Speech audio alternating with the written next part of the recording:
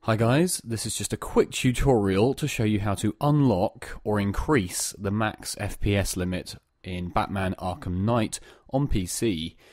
Some players have been having some issues with FPS drops, and this seems to be helping some players, and it did help me a little bit.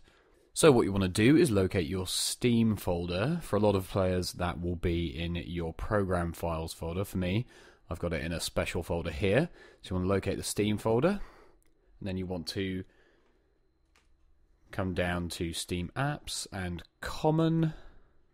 Then find Batman Arkham Knight. Here it is.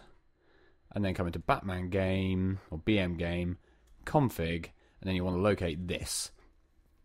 This is the BM System Settings.ini. You want to open this with Notepad. Here we go. And then scroll down and find here max FPS equals 30.000, you know, however, however many zeros. What you want to do is edit this. So at the moment you can see it's locked to 30. You want to change that to, um, ideally, whatever you want to raise the limit to. For me, I'm going to put 120 frames per second, just because, I mean, you could put any number in there, but that is going to do you just fine. You could put 60 in there if you want to limit it to 60, but I'm going to change that to 120. And then save. Make sure you back up. This is important. Make sure you back up this ini file before you make any changes.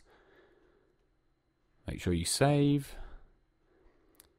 And then close that. And just before we leave, I'm going to come to properties on this file come down and make it read only, just so the game doesn't revert to the changes that we just made.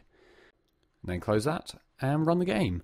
And hopefully that will show a little bit of a performance boost for some players. Not all players are going to see a, an improvement with this. I think we're going to need to wait for a, a patch to solve that.